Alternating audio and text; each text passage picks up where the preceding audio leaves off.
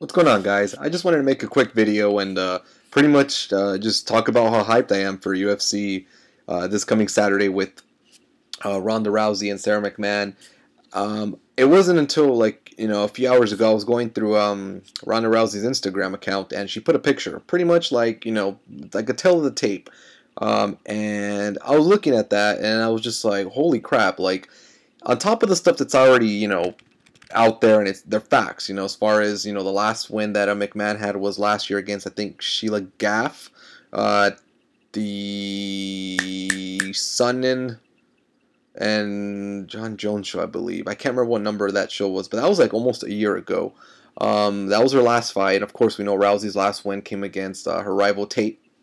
Miesha Tate uh, this past December, so you know that those things are out there. You know we know about the uh, how Oh, sorry, I had the TV on here.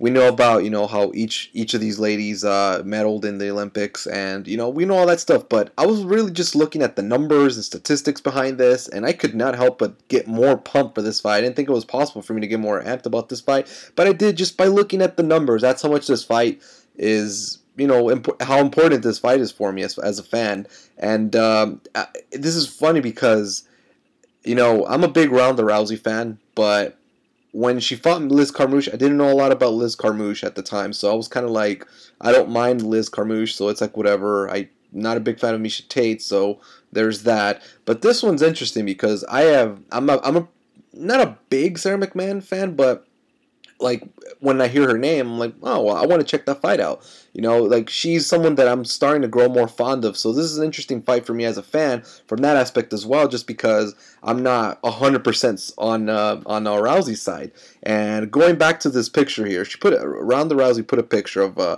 UFC 170 by the numbers, and let's check out some of these numbers here. Significant strike percentage. You got 2.6% for Ronda Rousey, 2.5 for Sara McMann. Um, and then you got the um, significant strikes, 60% for um, for uh, accuracy for Ronda Rousey. You got 51% for Sara McMann. You got a, attempted attempted punches per minute, 1.8 for Ronda Rousey, 1.6 for Sara McMann. And then you have uh, um, uh, strike defense. You have 56% for Ronda Rousey, 54% for Sara McMann. And this is where it got interesting right here. Takedown accuracy, 80%, a whopping 80% for Sara McMann, as opposed to 70% for Ronda Rousey. Takedown defended 100% for Sara McMann, as opposed to 60% for Ronda Rousey. That that that one right there blew my mind. Like I did not know it was that big of a spread as far as takedown defense. And then, of course, you have the submissions average, and you have other stuff like, you know, the weights, height, and all that. But point is, this fight is huge, and it, it, it, every time there's a big women's fight, I get, I, I, I can't help but at least chuckle because of, you know, Dana comment, Dana White's comments once upon a time ago of how women would never fight in UFC, and here we are, a big show coming up this weekend. Big fight features two female fighters.